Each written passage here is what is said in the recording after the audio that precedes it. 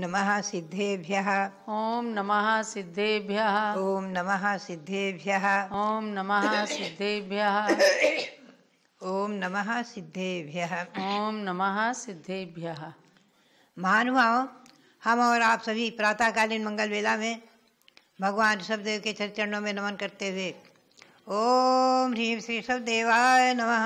ॐ ह्रीं श्री ऋषभदेवाय नमः। ओम ह्रीं विश्व शांतिकराय श्री ऋषभदेवाय नमः। ॐ ह्रीं विश्वशान्तिकराय श्री ऋषभदेवाय नमः। ओम ह्रीं श्री शांतिनाथ कुंथनाथ हरेनाथ तीर्थंकरेभ्यो नमः। ॐ ह्रीं श्री शान्तिनाथ कुन्थनाथ हरेनाथ तीर्थङ्करेभ्यो नमः। ओम ह्रीं चांद्री चर्या प्रकाश काय प्रथम तीर्थंकर श्री ऋषभदेवाय नमः। ॐ ह्रीं चान्द्रीचर्या प्रकाश काय प्रथम तीर्थंकर श्री ऋषभदेवाय नमः। ओम ह्रीं श्री शांति सागराचार्य परमेश्वने नमः। ॐ ह्रीं श्री शांति सागराचार्य परमेष्ठिने नमः। महानुभाव श्री गौतम स्वामी भगवान महावीर स्वामी के प्रथम गणधर श्री गौतम स्वामी उनसे उनके मुख कमल से निकली जो संस्कृत में वीर भक्ति जिसको कि हम और सभी मुनि आरिकागण छिलक छिलका आदि सभी श्रावकगण, साधुगण मुख्य रूप से अपने प्रतिकोण पाठ में निष्ठित करण वीर भक्ति के नाम से वीर भक्ति को पढ़ते ही पढ़ते हैं। प्रतिदिन, दिन में दो बार, प्रातःकाल रात्रि प्रतिकोण में और अपराह्न काल में दैवशिक प्रतिकोण करते हुए। ये वीर भक्ति में आठ काव्य हैं और इसका व्रत भी है, जैसे कि भक्तामर व्रत। ये गौतम स्वामी के मुख से निकले वीर भक्ति का महान अनुष्ठान।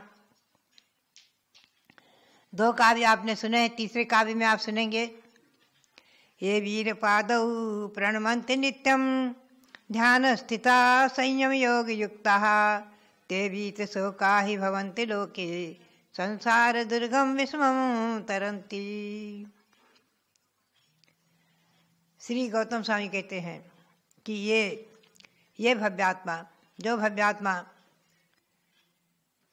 नित्यम वीर पादों प्रणवंती नित्य ही भगवान महावीर स्वामी के चरणों को नमन करते हैं। भगवान महावीर स्वामी के चरण कमलों का नमस, नमन करते हैं, नमस्कार करते हैं। कौन? संयम योग युक्ता ध्यान स्थिता संयम योग से जो युक्त हैं, संयमी महामुनि। यहाँ मुख्य रूप से उन्हीं की बात है। क्योंकि प्रतिक्रमण दैवसिक रात्रिक प्रतिक्रमण जो है और पाक्षिक प्रतिक्रमण उसमें जो वीर भक्ति है। तो मुख्य रूप से साधुओं के लिए ही है और इसे श्रावक भी पढ़ पढ़ सकते हैं, पढ़ते हैं।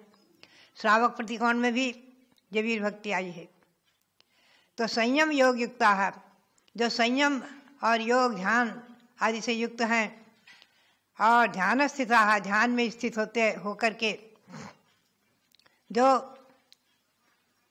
भगवान महावीर स्वामी के चरणों को नित्य ही प्रणाम करते हैं, नमस्कार करते हैं, ते ई लोके बीत शोका भवंती। वही संसार में बीत शोक अन्य शोक से रहित हो जाते हैं। सभी प्रकार के शोक दुखादि यहाँ शोक से सभी प्रकार की बाधाओं से, दुख संकट आदि से छूट जाते हैं। और संसार दुर्गम विस्मम तरंती। संसार ये बहुत बड़ा दुर्ग है, बहुत बड़ी अटवी है, बहुत बड़ा भयानक वन है, विषम। ऐसा विषम ये संसार संसार रूपी दुर्ग संसार रूपी भयंकर अटवी को तरंती पार कर जाते हैं। उसे निकल जाते हैं, उसे पार होकर के संसार समुद्र से पार होकर, संसार दुर्ग से, संसार अटवी से पार होकर अपने गंतव्य स्थान मोक्ष को प्राप्त कर देते हैं। ये एक प्रकार से भगवान महावीर के श्री चरणों की भक्ति करने वालों के लिए उसका फल बताया है। भक्ति भक्त और भक्ति के योग्य भगवान और भक्ति का फल। चार बातें हमें हमेशा ध्यान में रखनी है। भक्ति है भगवंतों के गुणों का स्तवन। भगवंतों के श्री चरणों में नमन, ये भक्ति है। और भक्त, जो भक्ति करने वाला भक्त है, भाक्तिक है भक्ति के योग्य है? तीर्थंकर भगवान, जो स्वयं संसार रूपी समुद्र से पार हो चुके हैं, वही दूसरों को पार कर सकते हैं। जो स्वयं डूब रहे हैं, वो क्या पार करेंगे? वो तो स्वयं डुबो देंगे। जो स्वयं संसार रूपी समुद्र से पार होकर के मोक्ष को प्राप्त कर चुके हैं, वही तीर्थंकर भगवान अनंत अनंत सिद्ध भगवान अनंत अनंत सिद्ध आचार्य उपाध्याय साधु। जो पार हो चुके हैं, जो पार हो रहे हैं, वही हमें और आपको पार करेंगे। संसार रूपी भयंकर बटवी से, वन से निकलकर हम और आप, उन्हीं की कृपा प्रसाद से संसार को पार करेंगे। स्वयं तरन तारे तुम क्षम परान ये गुरुओं का लक्षण किया है जो स्वयं तर रहे हैं, संसार से पार हो रहे हैं और दूसरों को पार करने में सक्षम है।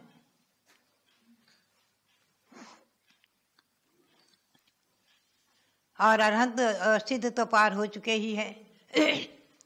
ऐसे भगवान महावीर के श्री चरणों को नमन करते हुए श्री गौतम स्वामी ने बहुत ही सुंदर वाक्य कहे हैं। भव्यात्माओं। पद्यानुवाद आप देखेंगे। जो नित वीर प्रभु के चरणों में प्रणमन करते रुचि से, संयम योग समाधि युक्त हो, ध्यान लीन होते मुद से, इस जग में वे शोक रहित हो जाते हैं निश्चित भगवान।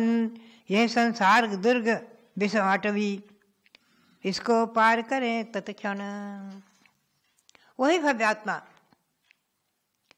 जो आपके इसी चरणों का आश्रय लेते हैं आपके इसी चरणों में नमन करते हैं, वो संयम और ध्यान आदि से युक्त होकर के इस संसार में भी शोक होते हुए, शोक रहित आदि होते हुए, दुखों से छुटकारा प्राप्त करके, यानी सांसारिक भी वैभव को प्राप्त करते हैं, सांसारिक सुखों को भी प्राप्त करते हैं, सांसारिक दुखों से छुटकारा प्राप्त करके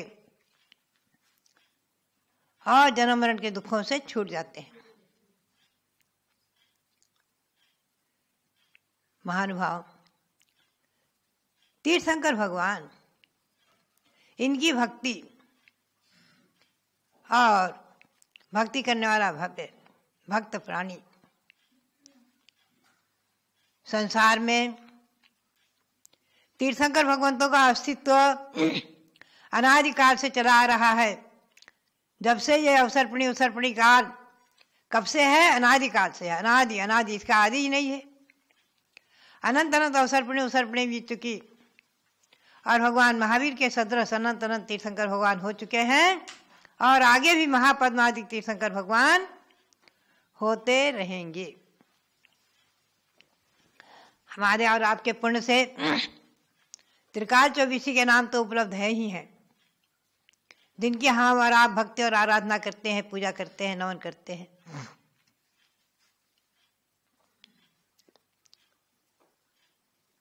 और इसी श्रृंखला में अनंत अनंत महापुरुष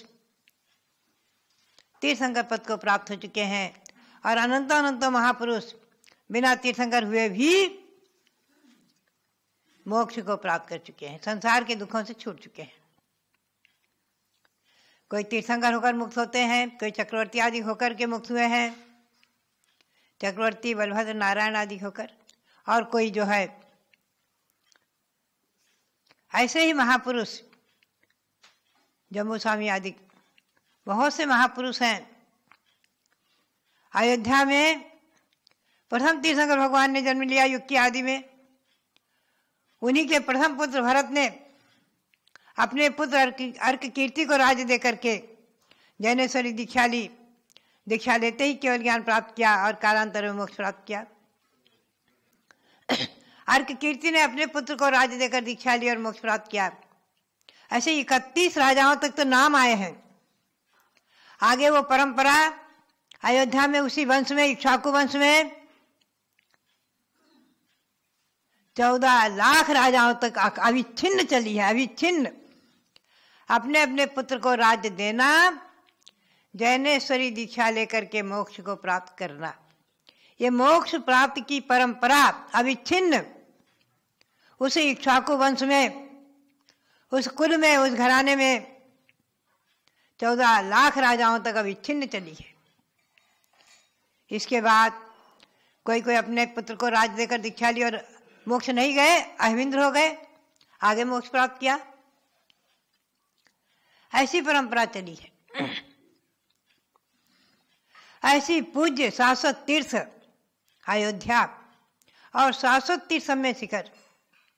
और ये शाश्वत तीर्थंकर परंपरा शाश्वत अनादि निधन और मोक्ष प्राप्ति की परंपरा भी शाश्वत है, अनादि निधन है। अनादिकाल से अनंत, अनंतो सिद्ध परमेष्टि होते रहे, होते रहेंगे। लेकिन ध्यान रखो, आप चिंता नहीं करना, संसार खाली कभी नहीं होगा। आचार्यों ने कहा है, ये संसार अनंत आनंद जीवराशि से भरा हुआ है, इसलिए कभी खाली नहीं होगा। न हुआ है, न होगा। और मोक्ष प्राप्ति की परंपरा भी चलती रहेगी। ऐसे भगवान महावीर स्वामी, जिनको होकर के आज मात्र छब्बीस सौ सोलह वर्ष हुआ है, जिनको जन्म लेकर। और भगवान महावीर स्वामी विराजमान यहाँ कमल मंदिर में अतिशयकारी भगवान महावीर स्वामी जो पच्चीसवें निर्वाण महामहोत्सव के अवसर पर यहाँ विराजमान हुए और एक कमल मंदिर बना। यह भव्यों के लिए एक तीर्थ, महान तीर्थ, हस्तनापुर तीर्थ, स्वयं तीर्थ है और वहाँ ऐसे तीर्थंकर भगवान की प्रतिमा विराजमान होकर के और ये जम्बूद्वीप स्थल पर जो ये भौगोलिक जैन रचना बनी है, सारे विश्व में अभी अपने आप में एक अनूठी और एक अद्भुत विशेष ही है।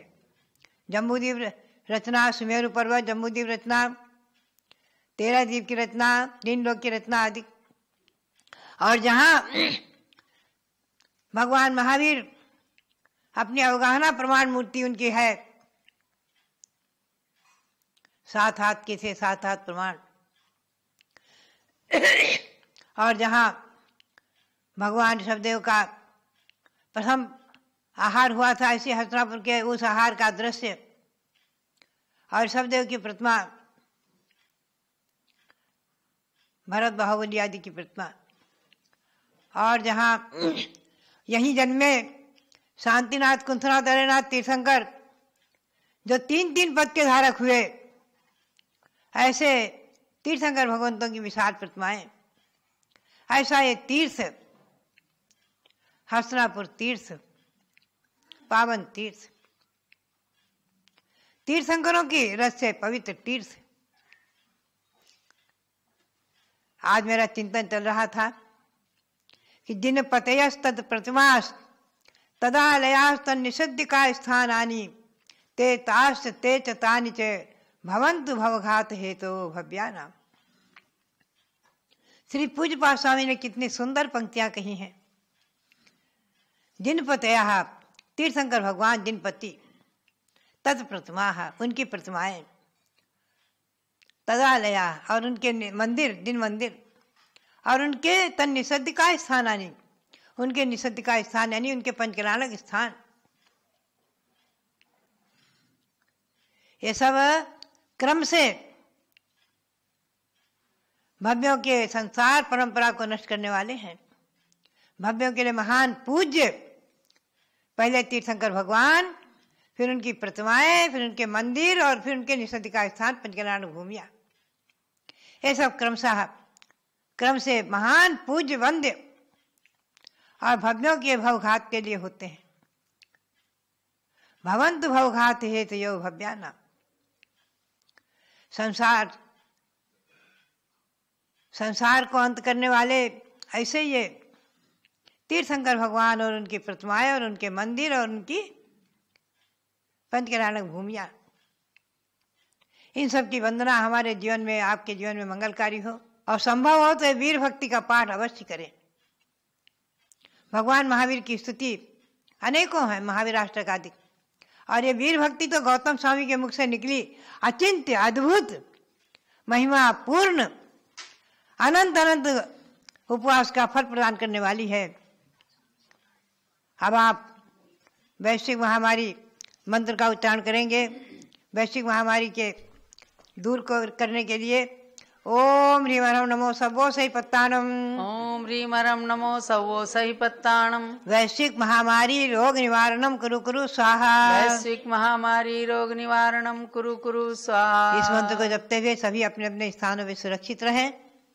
और भगवंतों की भक्ति करते हुए धर्म की आराधना विशेष करते हुए स्वाध्याय विशेष करते हुए अपने मानव जीवन के फल को उसके फल को प्राप्त करते हुए मनुष्य जीवन को सार्थक करें। यही प्रेरणा और सबके लिए बहुत बहुत मंगल आशीर्वाद बहुत बहुत मंगल आशीर्वाद वंदन।